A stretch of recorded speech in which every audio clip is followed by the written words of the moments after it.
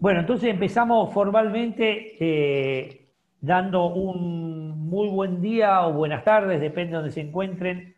Eh, a todas y todos les vamos a pedir, eh, en principio, que tengan la amabilidad de escribir su nombre, su país de origen, organización y un mail para el registro. Por favor, escribirlo en el chat.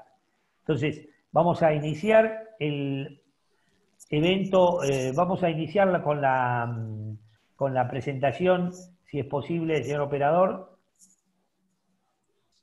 Eh, ya poner la presentación y darle la bienvenida entonces al, encuentro sobre la, el COVID-19, impactos, desafíos, aprendizajes para toda la producción pecuaria en América Latina.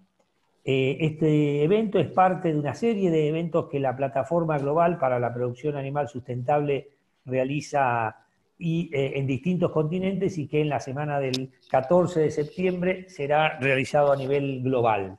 desde el equipo que organizó un poco el evento, tanto Carlos Enopio desde FAO, Diana de Agricultura de Ecuador, Walter Ollanzábal del Ministerio de Ganadería, Agricultura, Pesca de Uruguay, Pablo Frer, quien les habla desde Redes Chaco, y Rogelio Mauricio de la Universidad Federal San Joao de Brasil. Le damos la cordial bienvenida y vamos a compartir la presentación para que veamos un poquitito cómo es la, agenda, cómo vamos a distribuir estos eh, más o menos 90 minutos que vamos a, estar con ustedes. La agenda, iniciaremos una apertura. Primero vamos a, enseguidita le vamos a dar algunas reglas de juego para, para que puedan, eh, podamos ser ordenados, ordenados en este evento. Vamos a invitar luego a, y compartir las palabras que nos va a dar el presidente de la plataforma global, eh, Fritz Schneider, y después vamos a entrar en un momento muy importante que es eh, a partir de este evento se estructuró a partir de realizar una encuesta a referentes de las distintas eh, secciones de la cadena de la producción pecuaria y sobre esas respuestas hemos elaborado y estructurado una presentación de cuál es la situación que, tenemos y que la vamos a estructurar en tres bloques. En un primer bloque vamos a tratar de, de compartir con ustedes cuáles fueron los comentarios que nos impactos positivos y negativos, así como las amenazas y oportunidades a corto, mediano y largo plazo que ha generado este, eh, esta pandemia en toda la cadena. Al cabo de ese bloque va a haber un, momento para preguntas que le vamos a pedir que las escriban en su chat, en el chat, eh, que vamos a, responder eh, brevemente en ese momento. Les pedimos ser concisas y concisos en ese momento.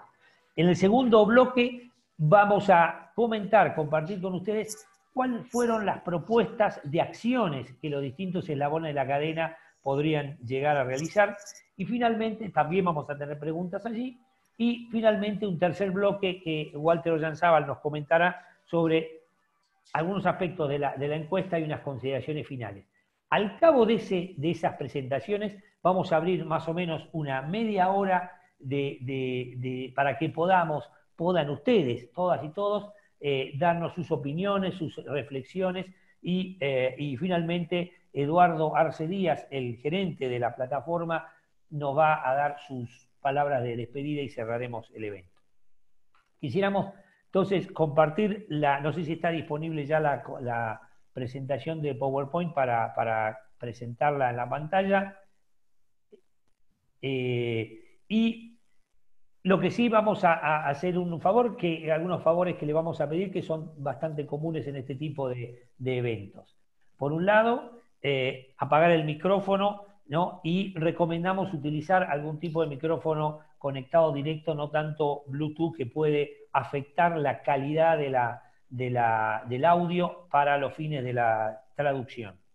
Eh, le invitamos a que enciendan la cámara si es posible en la calidad de la señal de su señal y, eh, o al menos en el momento en que van a intervenir, sí tener la, cámara encendida para que podamos verlas o verlos. Y reiteramos el pedido de poner en el chat eh, el nombre, la organización y un email de contacto. lo que les vamos a pedir en el chat de, las preguntas es justamente que eh, tratemos de ser concisas, concisos para, para facilitar después las respuestas. Vamos pasando a la siguiente. Correcto, ahí estamos. Y eh, les aclaramos que la presentación va a estar disponible en el sitio web de la plataforma Gasl y eh, justamente para poder aprovechar al máximo el tiempo y la participación de mucha gente es que les solicitamos que cuando sean el momento de las intervenciones la mayor brevedad posible.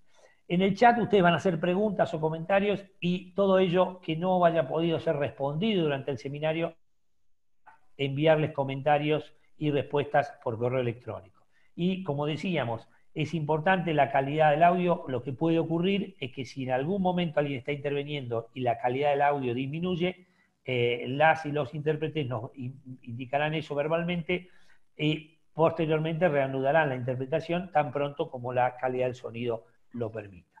Entonces, sin más, le damos el ingreso, el inicio formal y les invitamos a escuchar las eh, palabras de Fritz Schneider. Adelante con el video, por favor.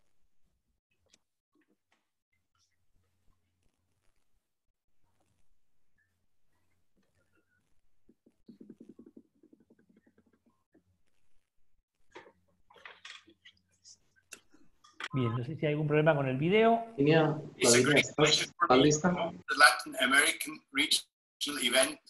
Eh, pues escucháis, ¿no? Sí. Hola. Ahora sí. Ah, vale. Ahora sí, por favor. Adelante.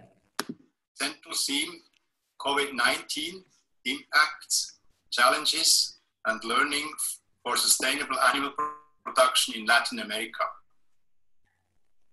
The global agenda has been working since 2011 to build a multi-stakeholder platform with the goal of promoting sustainable animal production around the world. During this process, we arrived in 2020 in a situation that we did not imagine, that is a COVID-19 pandemic. This is a new and very demanding challenge that, despite generating a global crisis and a challenge in the sector, also provides us with useful lessons and opportunities for change to realign and reinforce our objectives. Our objectives towards a sustainable livestock sector. In this context, Latin America stands out as an important livestock producer, part for the consumption of its population and a part for export. The experience during this pandemic and thinking about the post pandemic can generate opportunities not only in the exchange of information between member countries, but also in its use for other regions of the world. I sincerely thank the organizing committee for your highly appreciated interest and commitment. The organizing committee is Caroline Opio, Diana Lohr, Rogerio Mauricio, Pablo Freire, and Walter Oyansabo. I wish you all an excellent meeting, and I also look forward to seeing you all at our worldwide event on September 14 to 18. Thank you again, and see you very soon.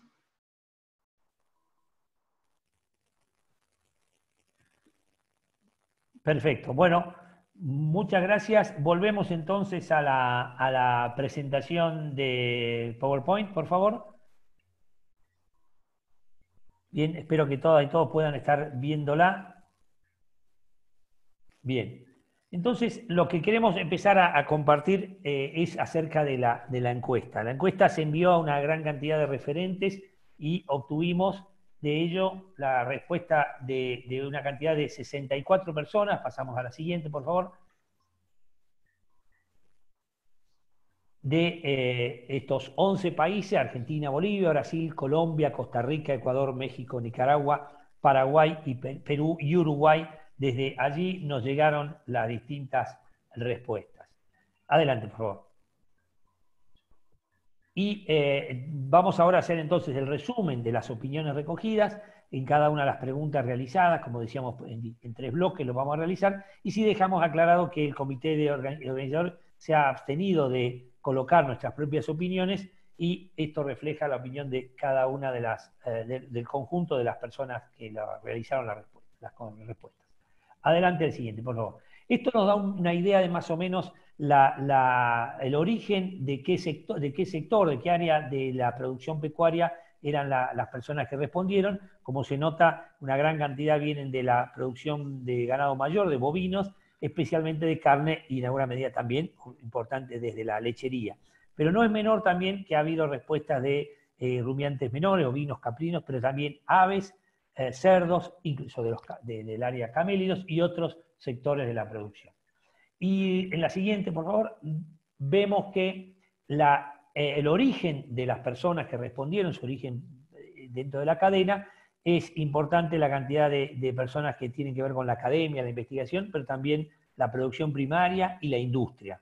Y eh, no menor también que tuvimos respuestas de de personas del área de comercialización, gobierno, servicios y asistencia técnica. Así que con este panorama invito a Rogerio Martins que inicie el primer bloque donde nos va a presentar eh, eh, estos impactos y oportunidades y como le decimos, le recordamos preguntas de aclaratorias, las hacen eh, en el chat. Adelante, Rogerio. Gracias. Buenos días a todos.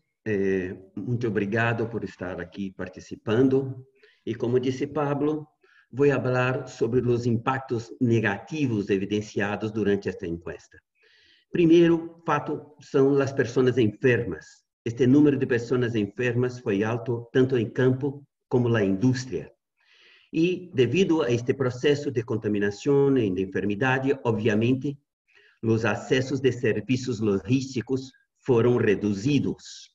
E com a redução destes serviços, por exemplo, para buscar leite ou para entrega de insumos, houve, houve, obviamente, um aumento dos custos de produção. E estes aumentos de custo de produção é, é, foi, por exemplo, para maíz, soja, ou também devido ao alto custo de dólar. Foram impactos evidenciados. Consequentemente, lá houve uma clara redução de vendas, e menor poder de compra. Estes impactos foram diferentes nas diferentes escalas, tanto para pequenos como para grandes produtores. A capacidade de reação foi diferente em cada tipo de, de escala. Houve também uma redução drástica do assessoramento técnico, devido à dificuldade de transporte e de locomoção. Outro ponto evidenciado provavelmente por redicionamento de recursos, foi uma redução na investigação científica. Esta plata e esta possibilidade foi reduzida. E também os eventos, congressos, seminários, foi muito reduzidos e este é um, um impacto negativo. Ao final, uma grande inseguridade sobre o futuro das atividades agropecuárias foi instaurado e este é um ponto extremamente negativo. Por favor, a próxima. A próxima pantalla. Podemos evidenciar também evento, impactos positivos. Primeiramente, que foi muito claro, houve uma rápida reação da cadeia pecuária. Por quê? Porque a pecuária buscou eficiência, maior produtividade, começou a preocupar com a saúde dos trabalhadores e começar a instalar protocolos. Houve preocupação clara com a biosseguridade, com a qualidade de produtos. Houve também muitas citações ah, do investimento em sistemas mais, mais resilientes, como os agroflorestais, como os sistemas silvopastoriles. Este foi pontos evidenciados. Houve também uma uma valorização do produto oferecido, ou seja, um produto de la ino, inocuidade e la qualidade em termos de, de, de, de saúde, de alimentação saudável, foi evidenciado pela necessidade de comércio e pela globalização. Este é um ponto extremamente positivo. Houve também um incremento, principalmente em Brasil e Argentina, das exportações de carne para o mercado chino, especialmente. E também um, um, um câmbio entre a substituição da carne vacuna por huevos, carnes e pollo. Este é um outro aspecto muito claro. La próxima, por favor. La próxima. Por favor, Eduardo, la próxima. Quais foram as oportunidades a curto e mediano prazo? Em termos de, de oportunidade, houve um câmbio dos sistemas produtivos e a oportunidade de câmbio dos sistemas produtivos e dos produtos da cadeia.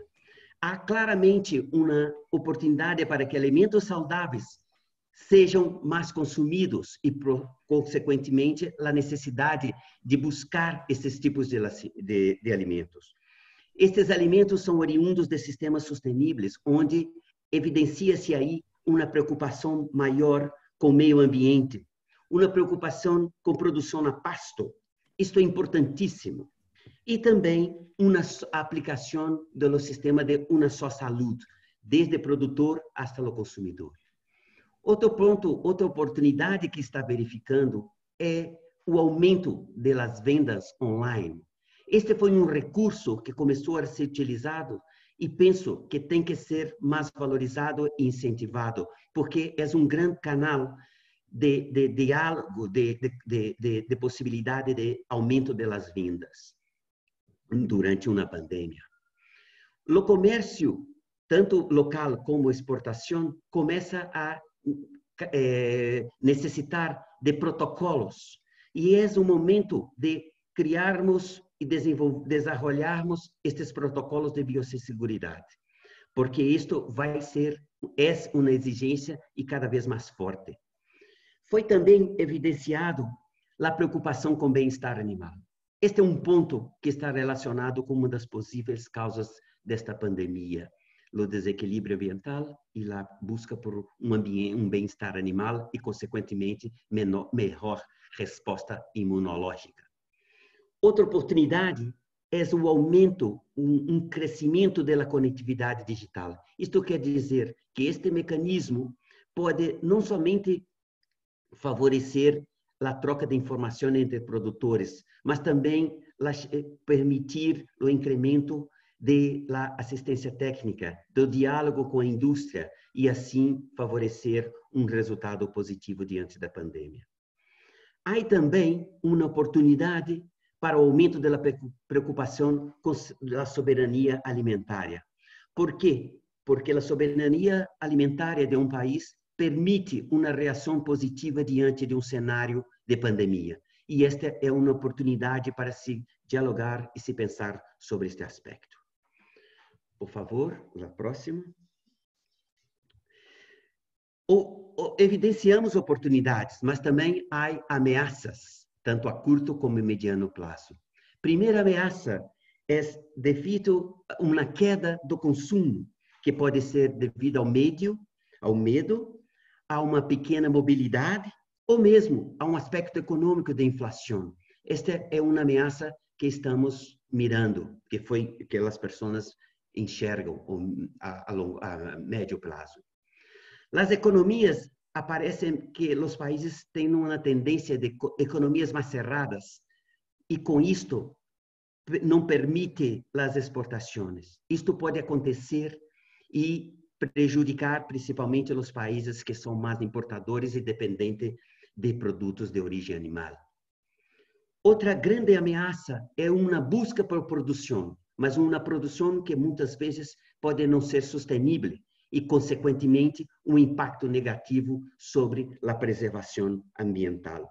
Este é um ponto clave que temos que aumentar a produção, uma preocupação de aumento da produção, mas que haja uma preservação ambiental. Isto pode não ocorrer a, a curto e mediano prazo. Outro ponto que de ameaça são a redução das inversões em investigação e desenvolvimento. Sabemos da importância da investigação, da participação deste setor na busca de soluções científicas e tecnológicas. E há uma grande ameaça deste setor ser impactado negativamente. Próximo, por favor. Principais oportunidades a largo prazo. A primeira que se verifica é uma oportunidade de haver uma transição tanto para sistema, sistemas como para cadena, cadeias mais sustentáveis. Foram muito citados os sistemas silvopastoris, os sistemas agroflorestais, como uma destas alternativas. De toda forma, há que ter uma discussão política entre os setores ganadeiros. Há que permitir uma maior é uma oportunidade para um diálogo entre os diversos componentes desse setor. Para quê? Para garantir uma produção alimentária de maneira sustentável. Este é um ponto muito enfatizado como oportunidade que podemos ter diante desta enfermidade. Outro ponto, a ganaderia de precisão, que vem a ser a importância de, de, de termos decisões técnicas baseadas em informações, em dados. E com isto, a ganaderia de precisão vai nos ajudar a, a, durante a análise das soluções. E para isto precisamos também incentivar uma oportunidade para o crescimento da traçabilidade, ou seja, informações de, de, do produto desde a produção até o consumidor. É importantíssimo e é uma importante oportunidade. Também, a largo prazo, há que incrementar as inversões de investigação e desenvolvimento, como dito. E sempre preocupar com o diálogo entre o campo e a cidade. A cidade não é somente o consumidor. Este consumidor tem que entender a origem do produto. E para isso, há que ter o diálogo, as informações entre esses dois setores. Próximo, por favor. A largo prazo, também temos ameaças. A principal que foi evidenciado pelas pessoas foi a aparição de novas enfermidades. Não sabemos se Covid será a última. E também não sabemos ao certo, que Deus permita que seja curto, mas não sabemos se esta enfermidade possa avançar durante longo prazo. Outro ponto, o mercado externo, para nós, nós aqui em Latinoamérica, começa a exigir protocolos. E muitas vezes há países que não são capazes de atender estes protocolos e, consequentemente, cerrar as oportunidades de exportação e de incremento econômico. Outra grande ameaça é que não, há, não ocorra câmbio dos sistemas em las cadenas pecuárias hacia a sustentabilidade. Este é um ponto que temos frisado, que, la, que, que foi frisado, que a produção, o incentivo ao incremento da produção tem que estar junto com a sustentabilidade. E isto muitas vezes pode ser, não pode ocorrer, e esta é uma grande ameaça. Consequentemente, temos, se isto não acontecer, provavelmente, como dito, o bem-estar, os gases de efeito invernadeiro podem aumentar, o processo de desmatamento também pode aumentar, e são coisas que não, que não é desejado. Tudo isto le leva ou pode a ocorrer processos econômicos como a inflação ou uma crise econômica e levar a baixa de, barra de preços e redução de consumo. Esta é uma preocupação que evidenciamos claramente. E com isto, poder ocorrer, e já está ocorrendo, uma perda de unidades produtivas há produtores que estão saindo da cadeia por não conseguir atender às exigências e os problemas generados. E estes impactos eh, vão ser para grandes e pequenos produtores e também a indústria. Bem, estas são as principais ameaças a, a largo prazo e passamos a seguinte para a próxima, próxima chat. Abrimos aqui para o, o final do primeiro bloco e estamos abertos para perguntas que possam vir a, a, a, a evidenciar por vocês. Gracias. Bueno, muchas gracias, Rogerio. Eh, bueno, estábamos dando unos segunditos, si quieren, en el chat para, hacer eh, algún tipo de, preguntas. Mientras tanto, les comento que eh, em, hay varios, varias personas que han compartido enlaces de información de, interés, como Stefan Burger sobre la situación del COVID en la ganadería colombiana, también el profesor Julio Barcelós, la, una, cuestión sobre los, eh, de los mismos productores y una presentación de investigación sobre el consumo de productos lácteos en Brasil del amigo Fabio. Este, en principio, entonces, no sé si hay alguna pregunta aclaratoria que quieran volcar en el chat. No hay.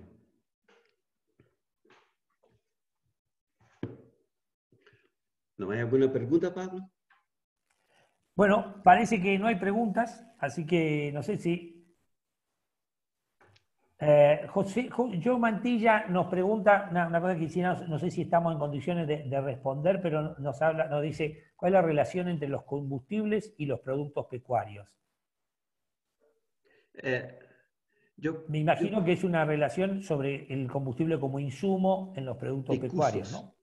Sí, probablemente está relacionado al aumento del custo de los combustibles y a todo el sector de logística, ¿no?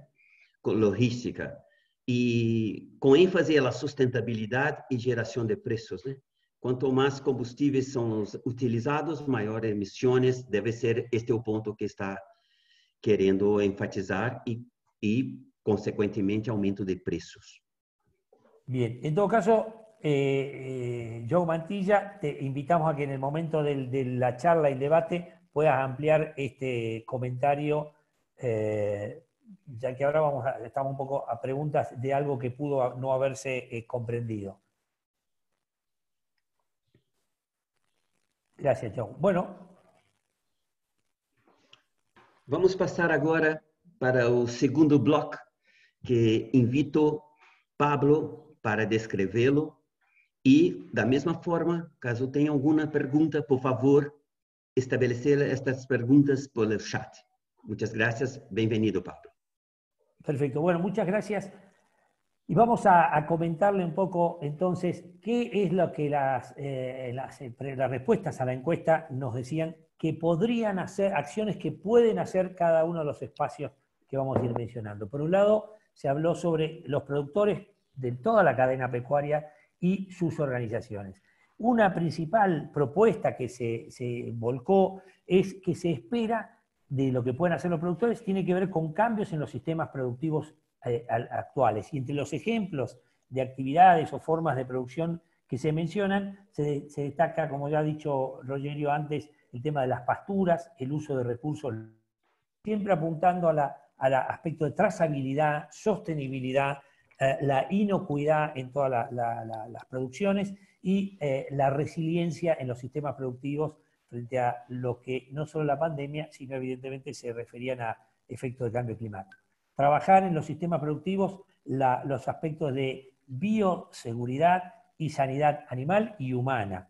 Y apuntar, siempre se decía, se ha recomendado en varias oportunidades, apuntar a sistemas eh, agroecológicos o que cuiden especialmente el ambiente se menciona como muy importante que el asociativismo, las organizaciones de productores pueden ser la herramienta fundamental para, o muy importante para lograr todos estos cambios y aprovechar esa oportunidad que significó el eh, aumento de la, de la conectividad, eh, si bien, sea, como se ha mencionado, también eh, hay una brecha en este aspecto.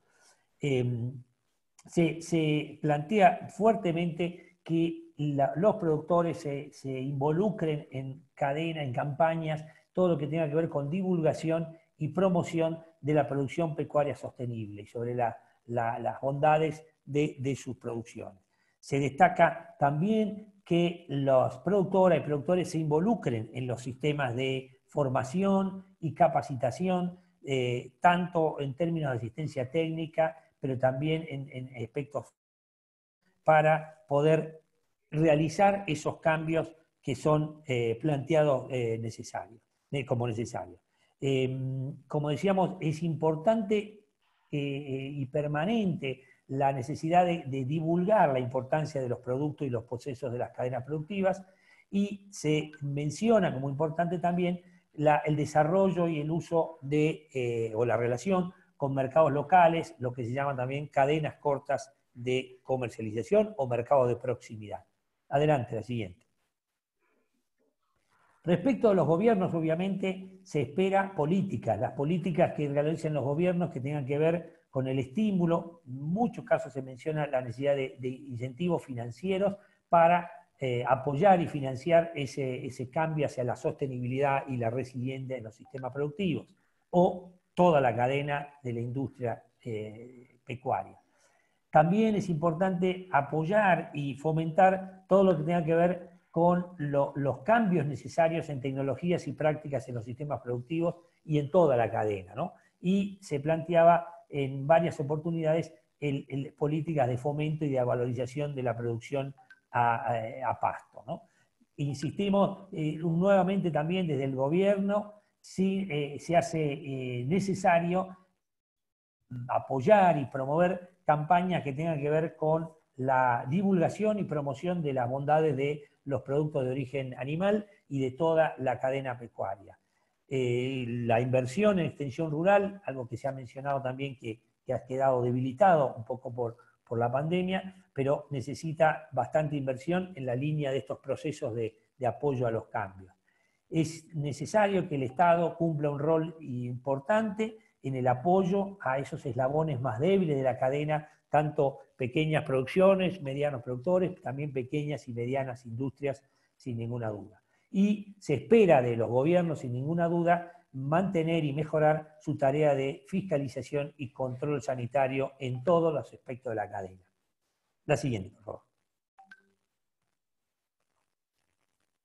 Respecto de las instituciones de investigación, bueno, uno de los planteos importantes que se ha repetido y reiterado en las respuestas es que la investigación tenga se conecte y tenga cercanía con los distintos actores de las cadenas productivas para que eh, el, tipo de investigación, la investigación que se lleva adelante tenga, responda a las necesidades de las, de las cadenas de, productivas.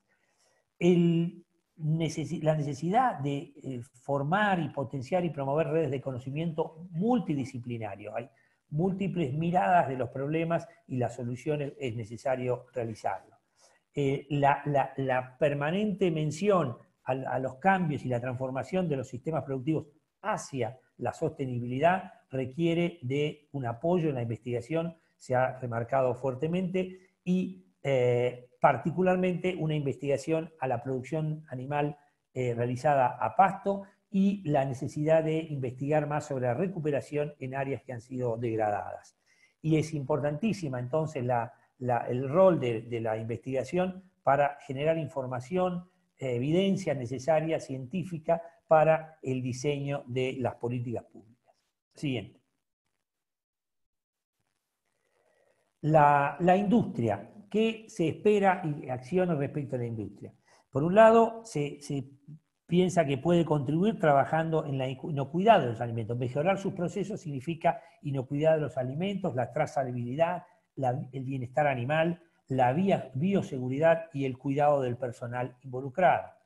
Eh, se plantea la necesidad de realizar alianzas de la industria con los distintos actores, distintos eslabones de la cadena, eh, principalmente con de la producción.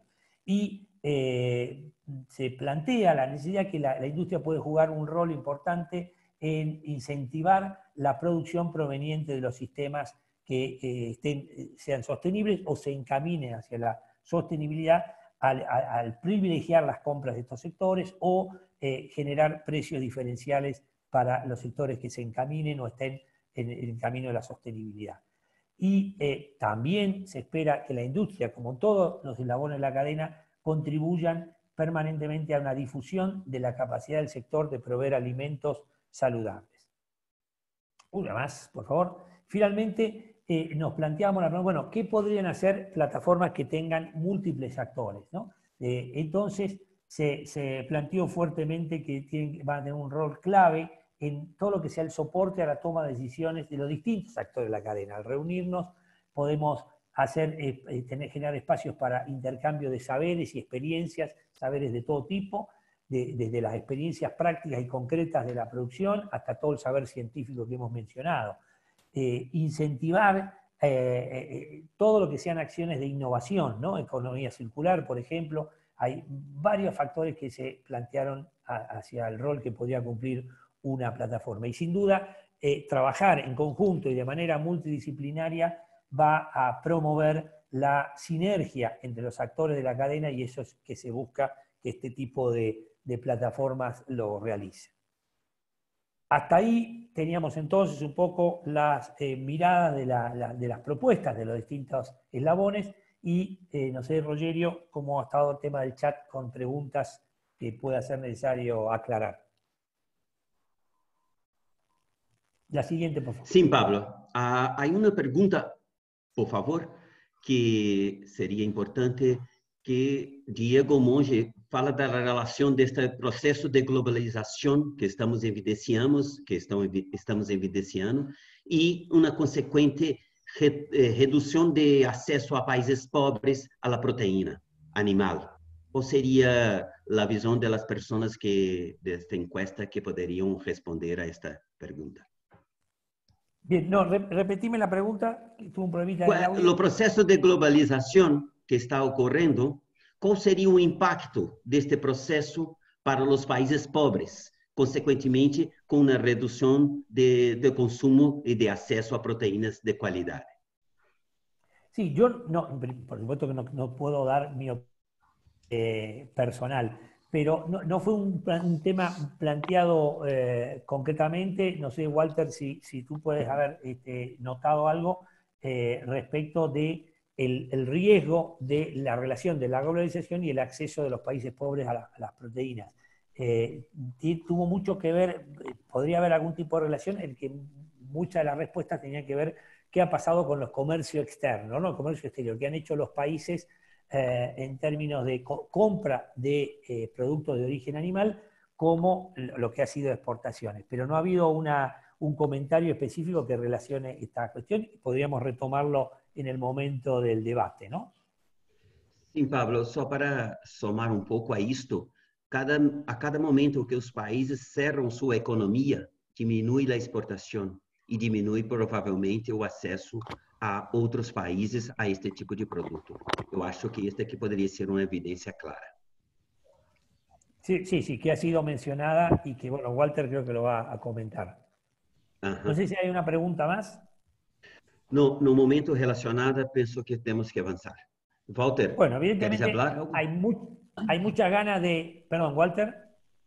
No, no, todo bien. Bien. Bueno, hay muchas ganas de participar en el debate posterior, seguramente, por eso lo que sean eh, eh, les pedimos que por favor los guarden y los hagan en, vivo, en, voz, cuando abramos el espacio del chat.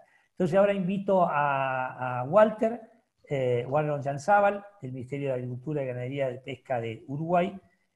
Eh, vamos a presentar el tercer bloque. Adelante, Walter.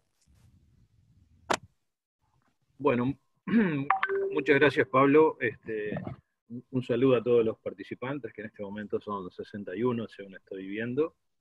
Este, eh, al, final del, cuestionario que enviamos a los, a los referentes entrevistados, les consultábamos si tienen o tenían alguna otra reflexión que desearan agregar más allá de las preguntas. Y las principales reflexiones que aparecieron este, de forma espontánea, digamos, no dirigida en, esas, este, en ese espacio, fueron, primero que el COVID-19 eh, resaltó la necesidad de fortalecer las cadenas productivas. O sea, se pusieron de manifiesto eh, algunos puntos débiles, algunas debilidades que están en las cadenas para enfrentar un shock realmente eh, COVID representa un shock para todas las economías del mundo al, mismo tiempo y, por lo tanto la resiliencia del sistema es una, propiedad fundamental, una propiedad que permite recuperarse luego de un shock eh, si es que el, el, sistema posee dicha resiliencia. Un segundo punto fue que se resaltó fue el de las políticas relacionadas con la ganadería familiar, entendiendo que serán fundamentales para la recuperación de las economías de los países en clave socioeconómica. En tercer lugar, algunas respuestas resaltaron la importancia del liderazgo como factor clave para afrontar las crisis, este, señalando, bueno, eh, rumbos de salida y, y diseñando propuestas de solución. También se resaltó que es muy importante un mayor diálogo entre los distintos actores para identificar eh, distintas soluciones y como ya los compañeros Pablo y, Rogerio han, comentado, este, eh, el, diálogo y, relaciones de ganar-ganar en el, resto de las cadenas juega un papel muy importante. También se valorizaron eventos como este, centrados en esta temática, este, ahora y, en el futuro, ya que de alguna manera lo que estamos haciendo con esta encuesta es sacar una foto, una fotografía de, la situación en este momento, pero la situación es dinámica y seguramente en los próximos meses evolucionará en algunas direcciones que será necesario ir observando y reflexionando para eh, corregir, para nuevas, nuevos caminos de respuesta.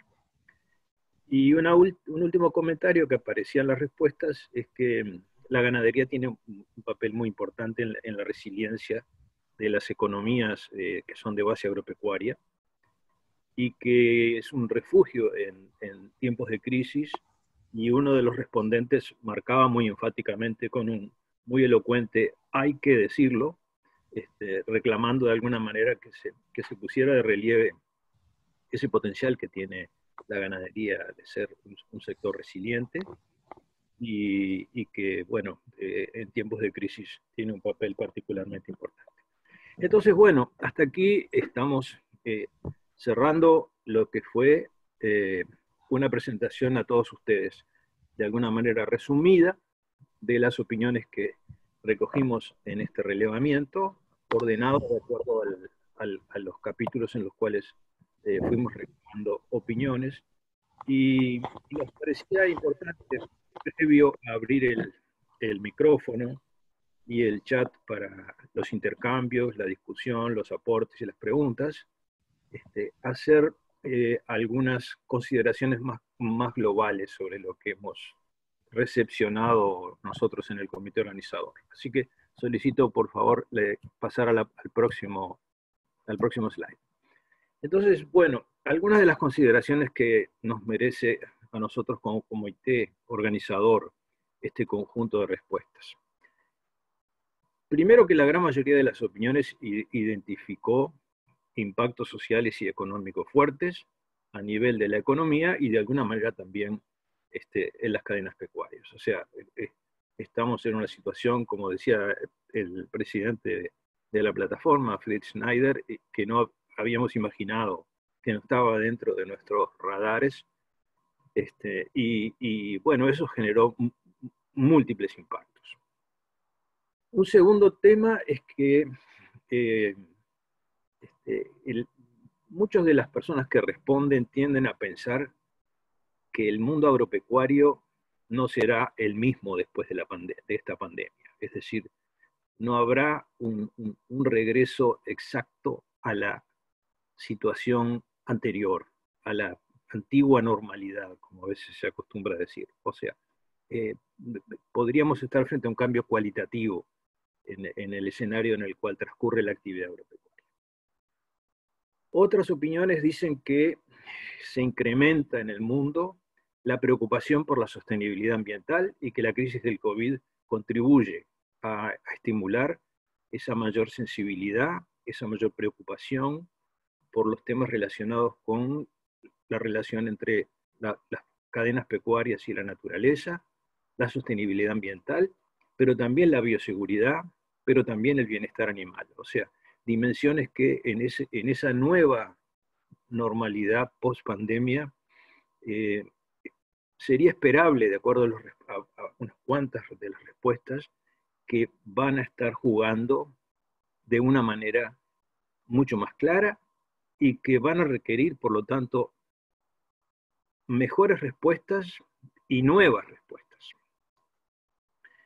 También se resaltó que los impactos, las amenazas y las oportunidades no son las mismas para todas las cadenas pecuarias, ni para todos los países, y tampoco son las mismas para las distintas maneras de producir un mismo producto animal. Esto es claro, este, en, en, muchos ámbitos hemos venido diciendo, hemos venido escuchando que no, no podemos medir con la misma vara ni todas las cadenas productivas pecuarias, ni todas tienen las mismas soluciones, ni las mismas vulnerabilidades, tampoco los actores de la cadena son homogéneos, y los sistemas productivos para producir un mismo producto también tienen este, implicancias en las relaciones con el ambiente, la bioseguridad, el bienestar animal, y por lo tanto estamos de frente a una realidad compleja y heterogénea, y simplificarla o eh, reducirla a, a, una dimensión que no, que no refleje esa complejidad,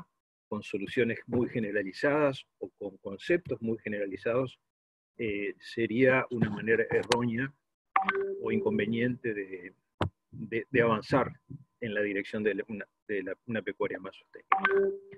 En, en, la siguiente diapositiva terminamos de resumir estas consideraciones. Este, eh, de las respuestas que se obtiene, se, se, se, extrae también la idea de que en particular la carne vacuna, dentro de las, de del conjunto de las cadenas pecuarias, este, podría enfrentar eh, crecientes campañas hacia visualizarla como un elemento que genera consecuencias negativas en distintas dimensiones. Y por lo tanto, bueno, este, un dato eh, para el cual prepararse es que campañas que ya se vienen viendo desde el pasado puedan en el futuro incrementarse en su extensión potencia e impactos.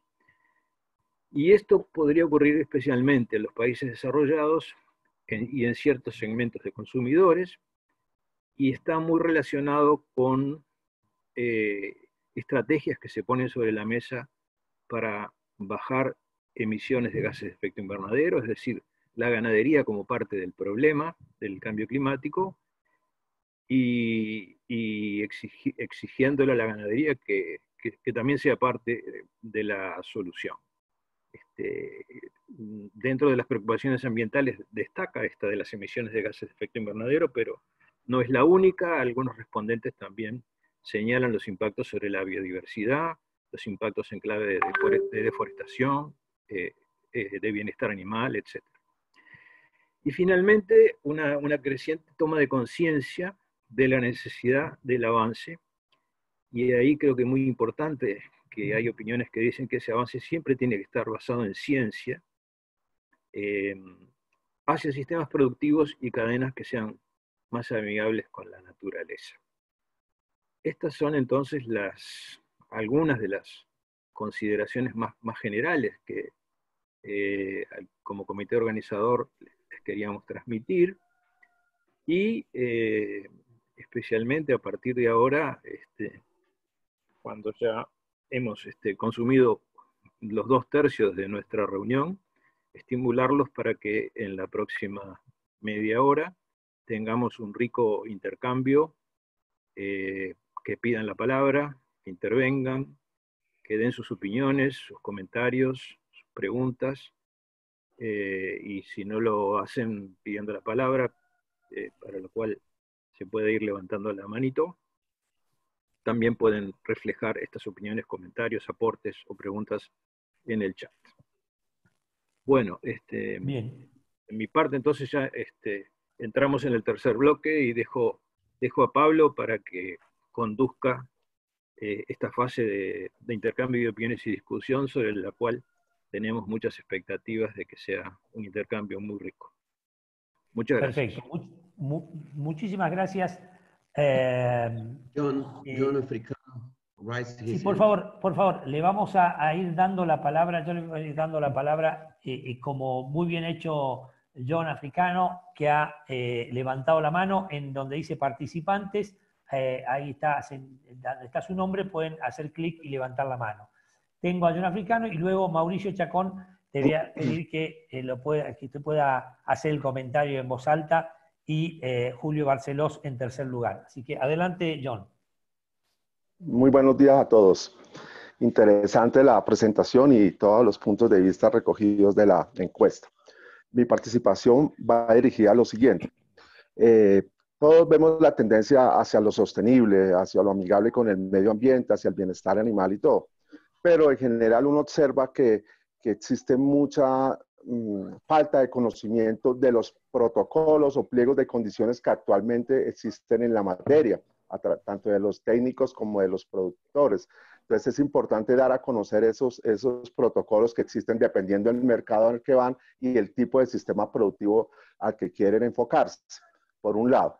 Por otro lado, eh, la sostenibilidad, sobre todo la que están manejando en este momento la mesa global, eh, pues habla de un tema global, de, general, sostenibilidad, pero no podemos meter en la misma, bajo la misma sombrilla, ganadería a pastos y ganadería a granos o mixta hay que diferenciar porque cada sistema productivo tiene sus propios atributos de valor.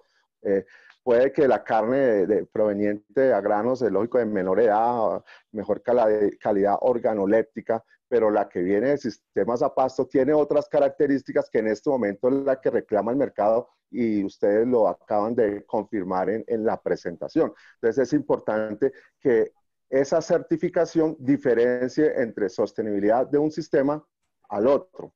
Eh, ese por ese punto. Desde el punto de vista de los agronegocios, las tendencias a, la, pues a la comida inteligente, saludable, pero hoy en día ya se están dando cosas eh, eh, en nuevo portafolio de comida. Ya se están presentando en mercados como el Canadá la venta de carne en mezcla 50-50 carne de proteína, animal y proteína vegetal. Entonces, hay que también observar este tipo de tendencias en, la parte industrial, ¿no? Entonces, eh, eh, enfoquémonos también en lo que pide el mercado, tanto en mezclas como en producto terminado, ¿no?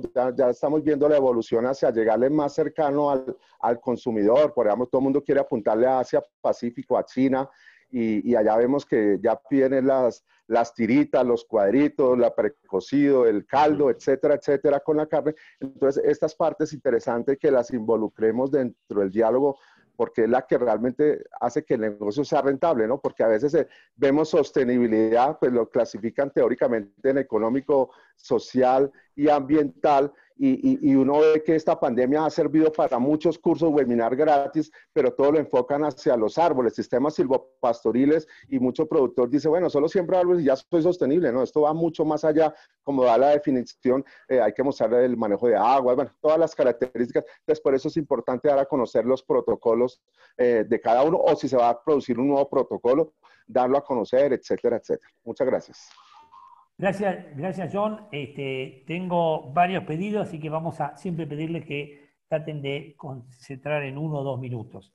Eh, Mauricio Chacón, no sé quiere, si quiere hacer tu comentario que hiciste en el chat, pero hacerlo en vivo. Tengo a Julio Barcelós, Julián Chará, Guillermo eh, Jiménez Ferrer y Diego Monge para el pedido de uso de la palabra. Y gracias Pablo, eh, saludos a todos y todas los que están participando en esta sesión. Eh, un poco el comentario va en el sentido de que eh, como, resultado de la pandemia, algo lo que hemos observado acá en Costa Rica es, eh, primero, que el enfoque de cadena de valor se ha fortalecido y que las plataformas sectoriales han sido ya sobrepasadas a plataformas multisectoriales. Esto quiere decir que otros sectores que tradicionalmente no habían observado los impactos positivos o no, o no tan positivos de, de la ganadería eh, son más sensibles a observarnos con detalle. Em, el comentario que había hecho en el chat estaba más relacionado al tema ambiental, pero perfectamente podríamos tener más observadores de otros sectores que antes no teníamos, del sector salud, eh, del sector ambiente, que siempre han estado observándonos, e incluso del sector economía, comercio y otros. en el tema específicamente ambiental, eh, nosotros tenemos en Costa Rica una plataforma, una agenda agroambiental en donde tenemos una relación muy estrecha con el sector ambiente y eh, lo que hemos observado como temor del sector ambiente es eh, la, la posibilidad de una regresión ambiental. Costa Rica ha sido un país muy, muy pro de la articulación de, de producción y ambiente y muy pro en ambiente y el temor es que esos eh, avances se pierdan como resultado de un aumento en la presión sobre los recursos naturales para poder eh, paliar esta crisis, el resultado del, del COVID en el sector agropecuario. Entonces, es una observación, muy probablemente creo yo, vamos a tener eh, más presión de los sectores ambientales, más observación acerca de cómo eh, esta pandemia pueda impactar el uso y administración de los recursos naturales en los países y su relación con la cadena de valor ganadera. Gracias. Bueno, gracias Julio. Eh, bien, eh, Julián, no, perdón, Julio Barceló, tengo varios pedidos de palabra. Julio, don Julio Barceló tiene la, la palabra. Adelante, por favor. Ok, gracias. Yo pienso que hay que aprovechar algunas, algunos aprendizados que todos nosotros vamos a tener con esto y mirar hacia el futuro. Eh, pienso que estamos hablando de algo que no es tan nuevo así, sobre, sobre los sistemas agroalimentarios, sobre una agenda ambiental, sobre la parte de sustentabilidad. Todo esto es una agenda que tiene por lo menos más de 30 años. Pero lo que la pandemia trae de nuevo para nosotros. Bueno, en el ambiente de investigación, eh, pienso que el ejemplo es lo más eh, significativo en los últimos años, que es el, la situación de que los problemas hoy son mucho más complejos y no hay más lugar para investigaciones muy cartesianas. Miren que, ¿quién habló en cualquier noticiario en el mundo sobre la pandemia? No fueron los médicos, fueron los matemáticos, los ingenieros, los veterinarios, los sociólogos. ¿Por qué? Porque cada formación tiene una manera de mirar el problema. Y delante de un problema tan complejo como fue, y que, es, y que son los problemas de la agropecuaria en el mundo, quizás nuestra agenda de investigación tenga que contemplar trabajos más, más multidisciplinarios. Esta es la primera gran conclusión que la pandemia nos trae. No es los médicos que hablan sobre el problema del COVID, es son todas las personas que hacen parte de un sistema mucho más integrados. Este mismo concepto es una oportunidad no para estandarizar sistemas de producción. La pandemia no tiene fuerza para decir cuáles son los sistemas de producción del futuro. La pandemia nos trae algunos principios que pueden ser los grandes drivers para la producción del futuro.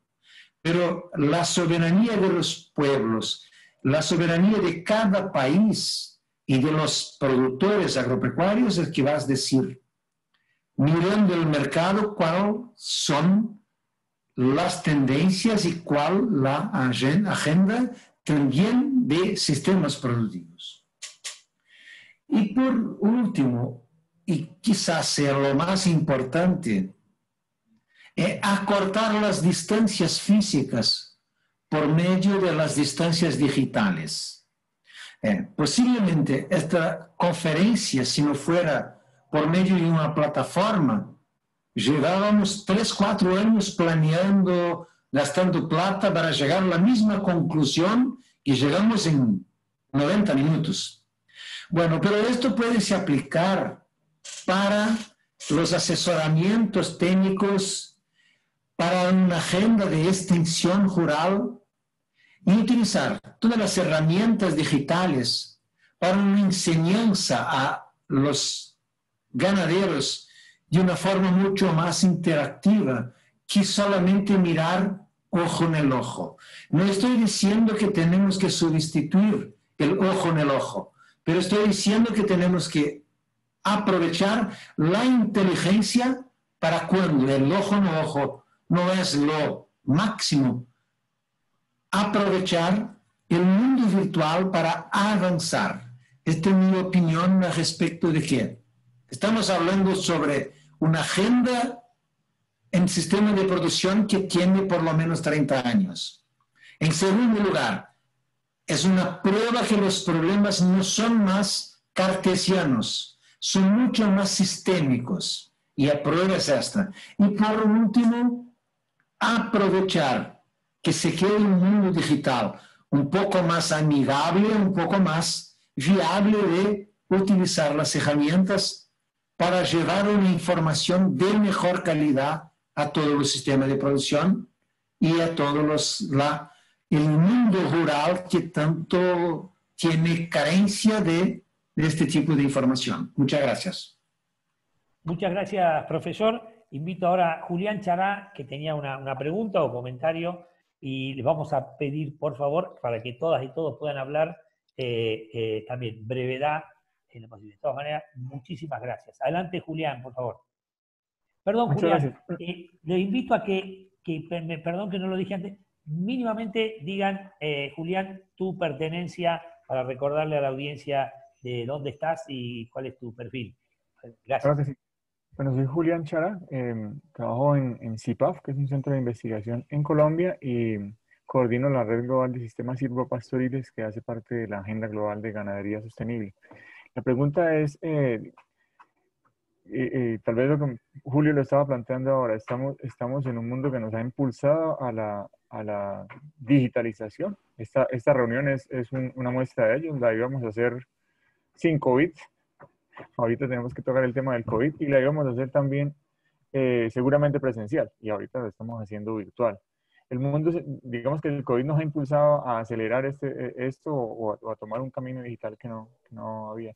Mi, mi, pregunta es precisamente si a través de la encuesta pudieron evidenciar que haya una tendencia como una de las, de las eh, propuestas de, de, hacer la agricultura y la agricultura sostenible más digital, tanto en su inserción a los mercados como a, muchos otros elementos, digamos, entre los problemas que noté, digamos, está, que los, asistentes técnicos no pudieron ir a, las, a las, fincas, a los, a los, predios, que los productores no tuvieron acceso fácil al mercado, eh, y todos esos elementos eh, he notado a escala pequeña que se, que se han eh, subsanado en algunos casos a través de, de la digitalización o, o, de, o, del trabajo con domicilios y aspectos de ese estilo para pues, subsanar los problemas de mercado pero se notó eso de igual forma en, en, en, la, el país, en toda Latinoamérica. Gracias. Así es, Julián. Rogerio, si quiere hacerle un comentario sobre eso. Sí, eh, penso que a preocupação de Julián é, é muito clara e, e, evidente, mas pela nossa encosta, encuesta, penso que os produtores estão começando a descobrir essa ferramenta digital. Não é uma coisa que pode ainda ser aplicada em toda a América Latina de acordo com as respostas, mas vejo que é um potencial grande e penso que temos que nós outros, como também como trabalhadores na parte da extensão, começar a adaptar estas ferramentas para as necessidades dos produtores. Não é simplesmente porque temos internet que a coisa vai cambiar, mas temos que começar a digitar, a melhorar as ferramentas digitais para que possamos chegar ao produtor. Este é um, um, um comentário um pouco meu, mas uma evidência em las encuestas. Muchas gracias, Julián.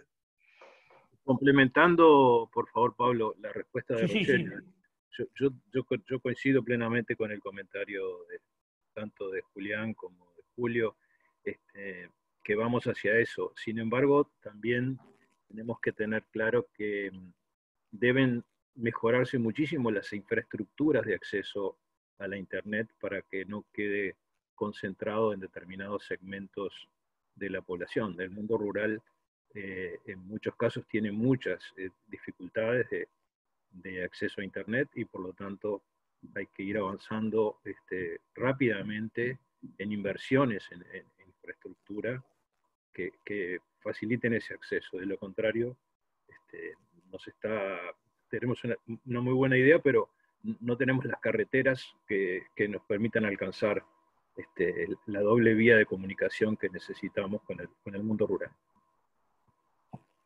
Gracias, Walter. Tiene la palabra Guillermo Jiménez Ferrer. Adelante, por favor. Bueno, eh, buenos días a todos. Eh, soy Guillermo Jiménez del Colegio de la Frontera Sur, Centro de Investigación en, la, en, Chiapas, en la frontera sur de México. Bueno, yo seré puntual. Creo que el informe que nos han presentado es muy, muy extenso.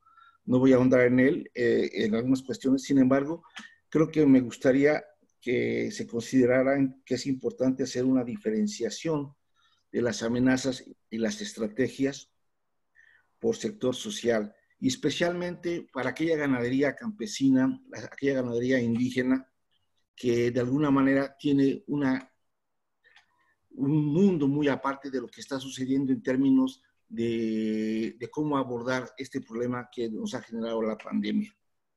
Por ejemplo, la ganadería media y los exportadores están teniendo problemas con el dumping, ¿verdad? Están inundando de leche, de queso eh, el país y esto está llevando a una crisis en el sector lechero eh, medio y los exportadores. Sin embargo, la ganadería indígena, en las zonas de montaña, en las zonas como las que nosotros estamos aquí en el sureste, tiene otra situación muy diferente en términos de generar estrategias para poder eh, abordar y resolver toda su cadena de valor, ¿verdad? Y creo que de ahí la importancia de identificar qué están haciendo, qué se está haciendo y, y qué nos está faltando para poder a esta gran población que de alguna manera es ganadería familiar, está realizando en sus mercados locales, en sus sistemas de producción, en sus financiamientos que no les están llegando. Entonces yo solamente puntualizaría, importante hacer esta reflexión en torno a qué hacer y en especial con este gran sector que es el más desprotegido. Muchas gracias. Eh, gracias, Guillermo. Eh, sí, José Renato, me levanta la mano en el, en el eh, nos dice participante, por favor, pero ya te anoto. Tiene Diego Monge, por favor, adelante. Eh, muchas gracias, yo soy de Brasil, en Minas Gerais, colega de Rogério. Eh, hago encuestas con... Está interrumpiendo el señor este. Yo soy Diego Monge y él está interrumpiendo. No sé perdón, José Renato, ya le voy a dar la palabra a José Renato enseguida. Eh, perdón, Diego Monge, sí, adelante. Sí, buenos días, Diego Monge. Eh, voy, eh, yo, bueno, vivo en Panamá, egresado del Zamorano y, y tenemos algo de conocimiento de lo que es la comercialización de ganado tanto en Panamá como en México recalcar lo que acaba de decir el señor Guillermo, mi, participación iba en, esa, en esa área, que es que hay un divorcio total desde las, los organismos internacionales hasta el productor. La mayoría de, la gente, tanto en organismos internacionales como en los gobiernos, eh, están totalmente divorciados de la realidad del productor promedio de los países. Y cuando me siento en estas reuniones se me para el pelo porque nosotros que somos los que estamos supuestos a eh, ver este tipo de problemas, seguimos cayendo en el mismo problema de que realmente no hay un conocimiento claro de la realidad de nuestros sectores productivos y eh, de esa manera va a ser muy difícil. Hay que empezar a tratar de realmente hacer una cadena fuerte que venga tanto de arriba hacia abajo como de abajo para arriba, desde los organismos internacionales, gobiernos, asociaciones ganaderas y eh, de ahí los extensionistas rurales y los productores. Porque yo siento que las decisiones que tomamos arriba son muy alejadas de la realidad de lo que realmente nuestro productor puede hacer abajo. Y es muy bonito hablar de reuniones por Zoom y de, de, de, exportaciones y de silvopastoriles y carne verde, todo eso es muy bonito, pero realmente no llega la extensión rural. Seguimos teniendo, después de 30 años o 40 años, un extensionista que pasa en el carro, en aire acondicionado, viendo de lejos y, y llegando a hacer reportes en, en en, en oficinas refrigeradas y, llenándonos de, de, de, de, números en la cabeza que no son reales. Y a mí me toca día a día lidiar con eso como productor, como intermediario y, y como profesional de la materia. Entonces, eh, yo siento que hasta que no haya un norte y hasta que no definamos realmente metas como, como mundo, como países y como eh, productores, eh, estamos muy lejos de, de poder llegar a algo. Me gustaría, ojalá, eh, tratar de, que esto sea productivo y que realmente haya un enfoque con metas y con, y con en algún momento ir pudiendo medir eh, resultados de, de, las cosas que realmente se quieren hacer. Esa es mi participación. Muchas gracias. Gracias, Diego. Eh, enseguida, Rogerio, porque tenemos cinco personas todavía y eh, les pido que seamos breves, y pero para, dar la oportunidad a todos. Pero muchas gracias por todas las... Eh, Juan José Griego Neón y, nuevamente, y luego Rogerio estabas en la lista. Sí, buenos días. Juan José Grigera Naón, profesor de bovinos de carne de la Facultad de Agronomía de la Universidad de Buenos Aires. Estoy productor también, representando la Sociedad Rural Argentina, Instituto de Promoción de la Carne Vacuna Argentina. Señor coordinador, solamente un par de reflexiones. Estamos hablando de protocolos. Los protocolos, insistimos, que deben ser basados en ciencia y no en principios precautorios, porque eso atentaría incluso al, al mercado internacional. También se ha hablado de emisiones al hablar de gases de efecto invernadero y quiero puntualizar que también necesitamos mucha más información, particularmente en países como la Argentina, con una amplia área de producción ganadera, más información en lo que sea secuestro de carbono, con lo que eh, la, eh, la, foto de, eh, de, de, sostenibilidad cambia completamente. Y también se habló de estos sistemas de Zoom, etcétera. Y acá retomo las palabras de Walter, el asunto es en nuestros países también problemas de conectividad para que lleguen, eh, se llegue con Internet y con estos medios a realmente al productor. Muchísimas gracias y felicitaciones por la reunión. A usted gracias y muchas gracias por la brevedad. Eh, tengo, ah, voy a poner la lista y ya vamos a cerrar ahí si nos da, si el tiempo no, no, no nos eh, afecta. Eh, Rogerio, querías, tenías una palabra, Estefan Burkhardt, Georgina Gutiérrez, Pablo Manzano y José Renato. Eh, hasta ahí tenemos la lista. Voy a ser curto. Agradezco las palabras de Julio Barcelio y quiero enfocar como académico y, que la necesidad de investigación a longo prazo es muy necesario la búsqueda de sostenibilidad.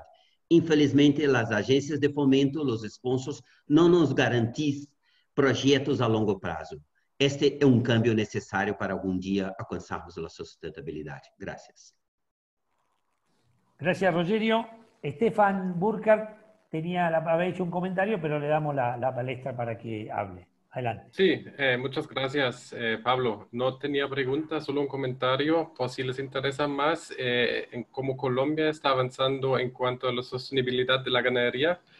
Hemos hecho en conjunto con la Mesa de Ganadería Sostenible de Colombia eh, una serie de seminarios eh, llamados conversatorios sobre la ganadería sostenible y durante 16 semanas eh, se presentaron los avances eh, del sector público, privado y de la academia en cuanto a la ganadería sostenible en el país. teniendo en cuenta pues una sostenibilidad a lo largo de la cadena, teniendo en cuenta la sostenibilidad ambiental, social y económica.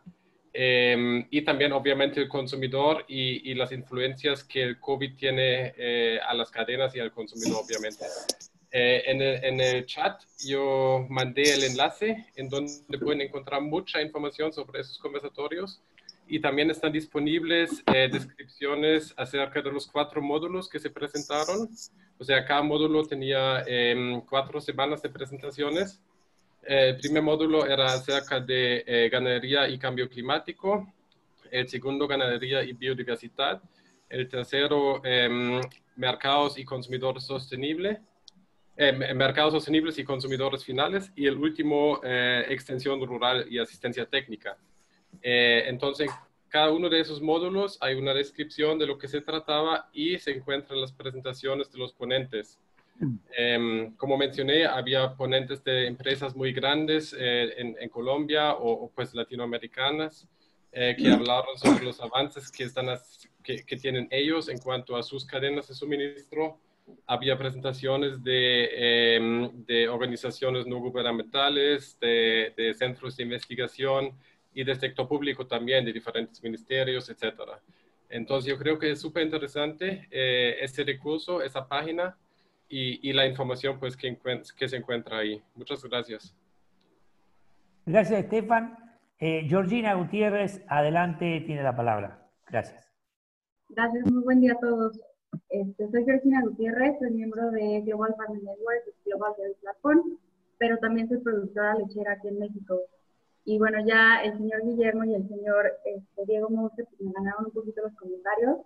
Entonces solamente una, una petición, porque luego los productores estamos súper alejados de la conversación. Entonces siempre pido lo mismo, denos un lugar en la mesa para que las organizaciones, incluso las universidades, los gobiernos, los políticos y los que hacen las políticas, que muchas veces son diferentes, no tienen una idea de lo que estamos haciendo en el campo y solamente nos llegan los proyectos, sus exigencias y no saben lo que estamos haciendo, no saben de nuestras prácticas, de todo lo que hacemos por mejorar todos los días. Entonces sí, me parece pertinente pedir un, involucramiento un poco más este, fuerte de los productores en todas estas conversaciones. Muchas gracias, Georgina. Eh, Pablo Manzano tenía un comentario, no sé si quiere hacer en la palestra. Adelante, Pablo. Eh, bueno, no, eh, sí, en realidad efectivamente no era una pregunta, era, era más bien un comentario. Bueno, yo soy Pablo Manzano, trabajo para la Universidad de Helsinki, pero llevo ya muchos años trabajando para la red Pastor Américas como, bueno, de, trabajando voluntariamente como asesor técnico. Eh, en la red Pastor Américas, que es una red de productores pastoriles eh, latinoamericanos. Y bueno, por una parte me gustaría incidir en precisamente la importancia de los pequeños productores ganaderos, que son los más desprotegidos de cara a esta falta de influencia en las políticas eh, nacionales y continentales y, y desde luego esa debilidad es algo que hay que contrarrestar escuchando más a estos productores, ¿no? Pero por otra parte, el comentario que yo había hecho en el chat tiene que ver con, eh, bueno, no, no se ha tocado tanto en la presentación, pero toda esta culpa que se echa a la ganadería sobre el cambio climático y, muy malos impactos ambientales, es, eh, es, un discurso que se puede rebatir. Ahí he puesto un par de enlaces, pero es importante saber que es un discurso que se puede rebatir alegando que, eh, digamos, que las, los escenarios de base para, una, para un ecosistema ideal o para un estado natural ideal no son correctos. No se está teniendo en cuenta que la herbivoría es un proceso natural y que es un proceso que tiene efectos tanto de emisión de gases de efecto invernadero como de biodiversidad. A lo mejor no en el Amazonas, pero en muchos otros ecosistemas latinoamericanos que corresponderían más a una sabana y para los que es necesario tener cierto grado de herbivoría, que ahora mismo, después de la extinción de los grandes eh, eh, herbívoros tipo elefante hace 12.000, 13.000 años, solo las puede proporcionar la ganadería. Entonces es importante saber que tenemos esa carta en el discurso para defender las pequeñas producciones extensivas eh, de ganadería, que no son el diablo que se está vendiendo, sino que son eh, una parte integrada de los ecosistemas. Y esto es un discurso que es muy importante estructurar, tanto para cambio climático como para biodiversidad. Gracias, Pablo. Ahora sí, José Renato tiene la, la palabra, es el último que tenemos anotado y luego vamos a hacer unos comentarios. Muchas gracias. Es muy importante este convenio. Como el profesor Barcelos ha dicho, eh, tenemos una oportunidad muy rica de trocar información por un costo muy bajo. Uh, la situación en Brasil es muy grave, há muchos, uh, muchos séculos que la situación de la ganadería en Brasil es muy grave. Tenemos una división muy, eh, muy acentuada entre ricos, productores ricos y productores pobres. Eh, eh, las mías, mis encuestas hace 20 años que estudio la cadena de producción agropecuaria, tentando introducir el turismo como uma, uma forma de aproximação de los mercados, principalmente para as populações indígenas, para as populações camponesas, eh, que não, pode, não, não, não conseguem acessar uh, esta, esta tecnologia informacional de las cadenas produtivas. Entonces, pero los gobiernos, gobiernos municipales, estaduales, federales no hacen nada, no tenemos política para suplantar esta cuestión. Por esto las cadenas no tienen solidaridad. La solidaridad no es orgánica, es una solidaridad clánica de las familias que se protegen e não conseguem competir em mercados globais, porque não têm informação nem tecnologia para produzir uh, uma carne, digamos, protocolada, como se ha dicho aqui, com selos de garantia, etc., etc., etc. Em Brasil, uh, o que vemos são a terra vazia de gente e completa de, de bois, de, ganado. El ganado toma, toma lugar de, los, de las personas. 82% de la población brasileña, brasileña vive, vive en las ciudades. Campo está abandonado. Eh, la, la, la, situación es muy grave porque la carne de Brasil es una carne barata, no tiene agregación de valor. Entonces, teníamos mucho que mudar la política. Gustaría de dar una, una, una, una sugestión al profesor, disculpe. José Renato, ¿puedes, ¿puedes escribirlo en el chat, la sugerencia? Disculpe. Por, cuestión de tiempo. En el chat la sugerencia para, para así dar... Ah, sí, gracias, no tem problema. Tengo, gracias José Renato, disculpa. Mauroni, mil disculpas que, no había visto que estaba levantando la mano. Adelante, Mauroni, ya es el último eh, persona que va a hablar. Gracias. É, eu queria compartilhar com vocês, porque, de maneira geral, há uma convergência muito grande nos, no que foi colocado. E a pecuária nossa, a pecuária brasileira, ela tem andado é, de uma maneira muito tranquila em relação à Covid. O problema, ele não chegou no campo com essa força toda. Ela impactou, mas não foi tanto. E teve um impacto muito positivo com os programas oficiais do governo, que aumentam de renda, que aumentou o consumo, tanto de carne quanto de leite. Então, tem um aspecto positivo muito grande na exportação. Os países passou a exportar mais carne, trouxe um preço maior para o, o setor e, consequentemente, um aumento no valor das terras do Brasil. Então, a pandemia ela teve esse lado muito positivo e que está repercutindo muito forte na base de produção. Era isso, Pablo. Obrigado. Muchas gracias, muchas gracias, Mauroni. Eh, y sí, lo que quería, quería decir,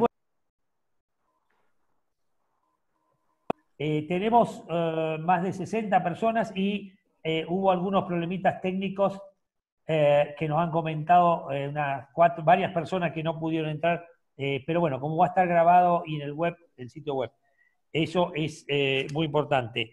Eh, por ahí también en el chat, no dejen de mirar el chat, que ha habido varios comentarios de eh, enlaces, inclusive eh, de, la, uh, ha dejado la, un, un mail para, para, una mesa global sobre la, producción ganadera, la mesa global de carne sostenible.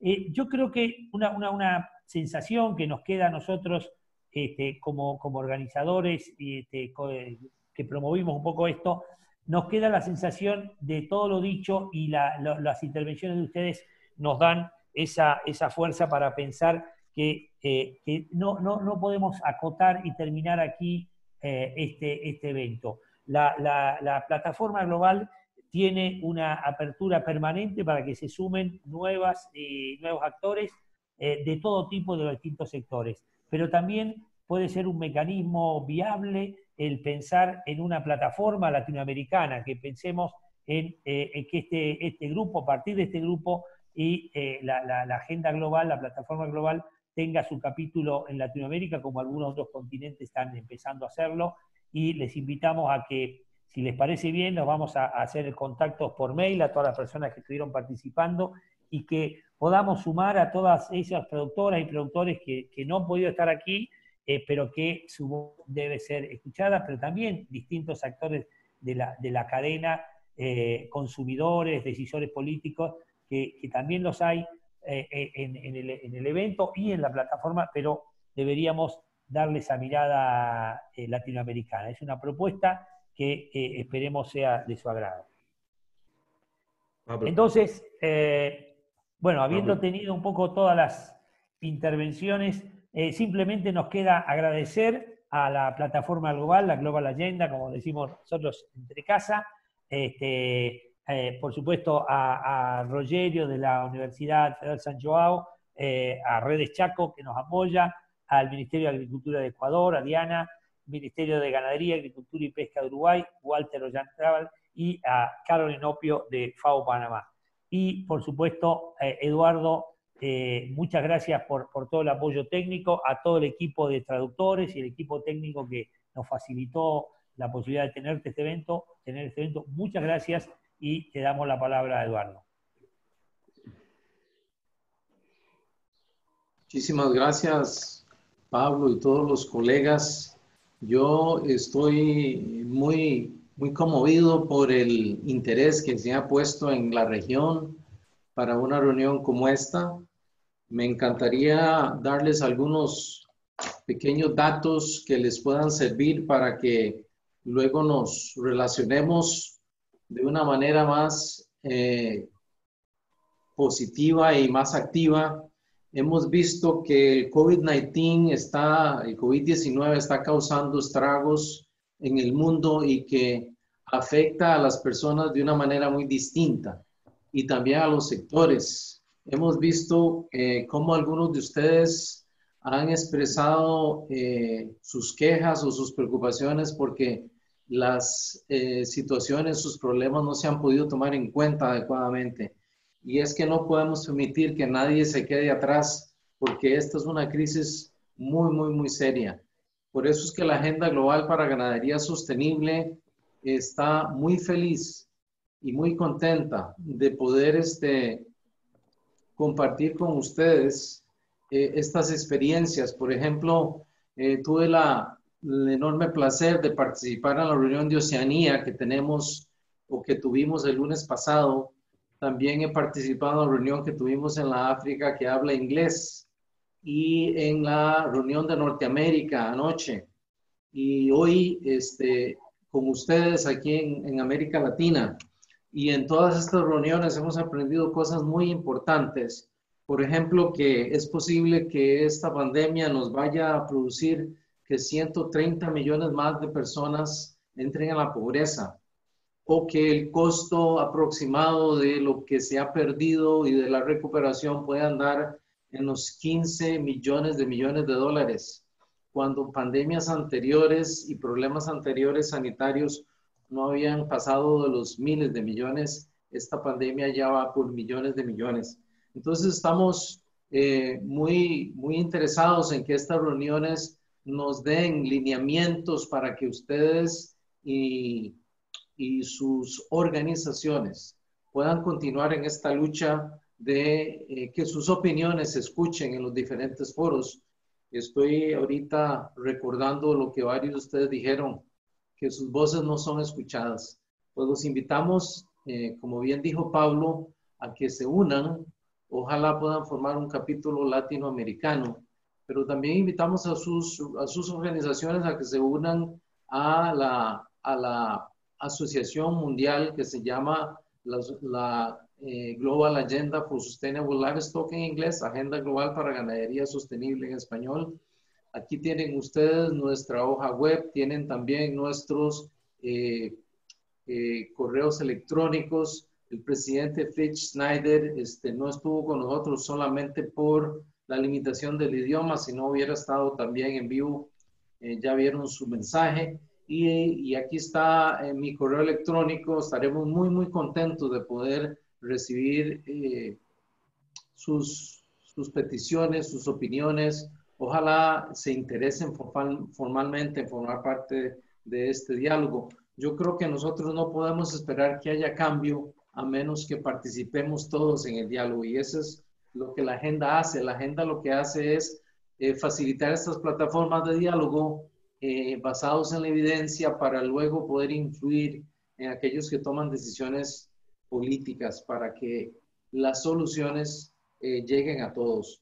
Eh, estamos también muy interesados en que esta experiencia del COVID-19 eh, nos enseñe que debemos analizar muy bien nuestras cadenas alimentarias porque cualquier eslabón que esté débil en la cadena afecta el funcionamiento de todo lo demás. Yo creo que en general el sector agroalimentario ha ha mostrado que fue un gran pilar durante esta crisis y, y, fue el que nos mantuvo alimentándonos, pero no podemos negar todos los daños y todos los perjuicios que los productores, los industriales y muchos otros que están arriba o abajo en la cadena, pues han sufrido. Yo los invito a seguir reflexionando y ojalá que se unan a nuestra reunión mundial. Aquí les doy datos de lo que sigue eh, nuestra reunión mundial que va a suceder el 14 y el 15 y luego el 17 y el 18 de septiembre. Aquí está el vínculo que podemos este, compartir después para que se unan a la reunión en nuestra hoja web de eh, www.livestockdialog.org. Ahí ustedes tienen cómo inscribirse en esta reunión mundial y también los invito a que se unan a otras reuniones regionales que van a tener lugar la próxima semana Vamos a tener reuniones el día 8, 9 y 10.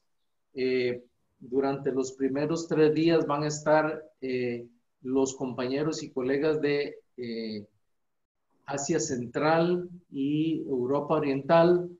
Luego van a estar también los colegas de la África que habla francés y por último los colegas de Asia. Así es que todavía tenemos tres reuniones eh, regionales que van a suceder la semana próxima y luego la reunión mundial va a empezar el día 14. Todavía ustedes se pueden inscribir si quieren participar. Va a haber una presentación el día martes 15 de, todo, de todos los colegas de las regiones. Vamos a tener un resumen muy interesante para que ustedes tengan el sabor de lo que está pasando en todos los continentes del planeta también vamos a tener una reunión regional europea que se retrasó un poco el día 15 y esa reunión también está abierta para inscripción. Nosotros estamos muy agradecidos con el grupo de colegas de, de América Latina. Ya Pablo los mencionó a todos. Muchísimas gracias. Rogerio, Pablo, Walter, Diana, Caroline y todos aquellos que participaron. Quiero también destacar la ayuda muy buena que hemos recibido de la Vinia aquí en el equipo de, de la Secretaría de, de Gasal en Roma. Les agradecemos muchísimo a todos su tiempo, su disposición para colaborar y por favor no se desanimen si ustedes creen que los problemas no se han solucionado aún, porque solamente estamos comenzando. Podemos continuar y podemos seguir conversando y actuando basados en evidencia y yo sé que este enfoque de multiactores es el que al final va a lograr resolver problemas. Así es que muy amables por todos, estamos a la orden, nos ponemos a sus órdenes y le paso a Pablo para el cierre. Sí, nada más que agradecer, quiero que Rogerio y Walter hagan el cierre, porque yo ya hablé mucho, como me caracteriza. Gracias Lavinia, que no te mencioné especialmente, muchas gracias.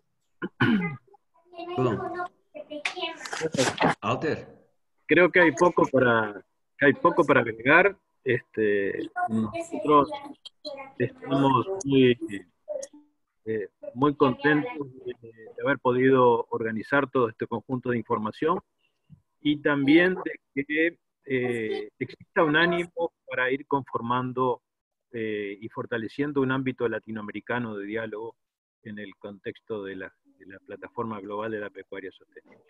Este, nuestra región tiene particularidades propias, tiene muchos elementos en común, históricos, culturales, idiomáticos, eh, y por lo tanto sobre esas bases tenemos que construir este, este, diálogo que nos ayude a todos a, ir hacia, una, eh, hacia unos objetivos de, de mayor sostenibilidad y, bueno, y, y, en eso entonces este, tenemos que seguir marchando y, y esto no termina acá.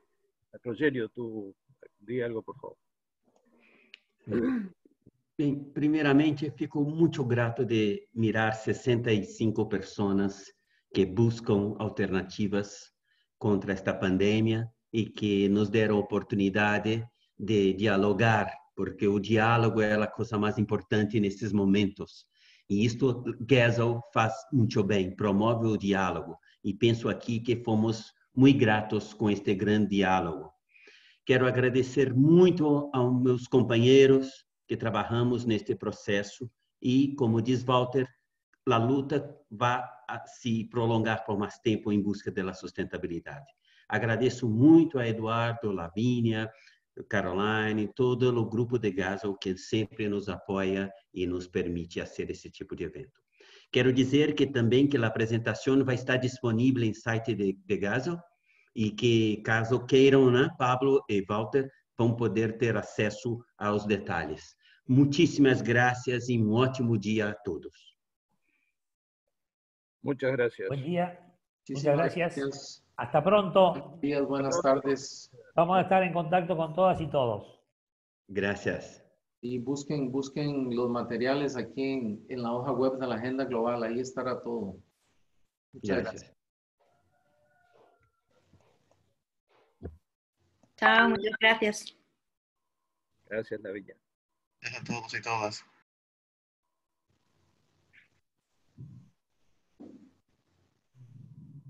Mauro ni deja de caminar.